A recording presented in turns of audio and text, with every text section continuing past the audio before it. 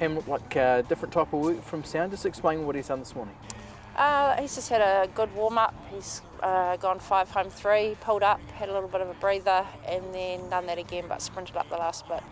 So it's something that Mike does with him quite a bit in Australia. Um, certainly worked for, work for him when going into the Zipping. So yeah, might see that's a good idea for him this morning. And he looked to be absolutely thriving out there too.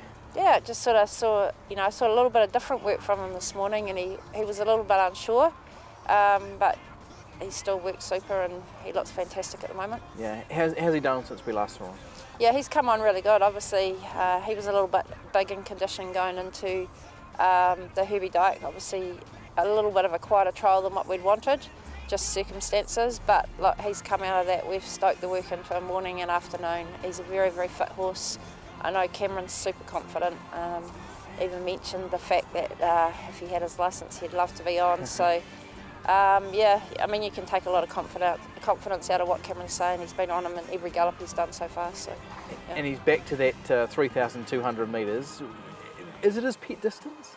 To be honest, um, I don't know if it is, but you know, it's the third time he's been over here now, and I sure as hell has made sure he's super fit. And um, you know, me and Mikey and Scott, we've been round the clock making sure that we've got the work into him. So even if it isn't, he's going to get it. Yeah yeah. everything that you're looking for from from you know the horse's point of view, it's there for the weekend. Yeah, really. I just think he's coming right at the right time. Like you can see him walking back in, he's nice and relaxed, but he's still got enough spunk in him. You know, when he's going out to work, he's really wanting to be out there. So, um, you know, we we've done plenty with him.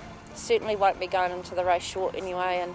Uh, yeah, I think he looks amazing. Yeah, he does look great, and he's big and strong. Uh, what about this weekend? What, what can we hope for? The win hopefully the win. Um, obviously the owners and that would be fantastic, but you know he's probably the class horse in the field. But there's some really nice up and comers coming through there, so certainly not going to be easy for him. Obviously.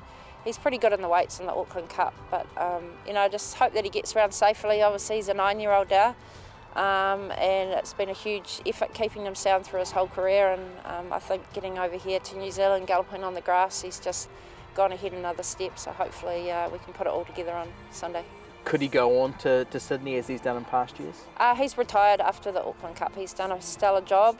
Um, that certainly was the plan. Uh, he'll stand at stud, he'll get some mares. Um, whether that changes, I don't know, but um, this the Auckland Cup will be his last race. You want to see him go ahead on a winning Hopefully we can do that.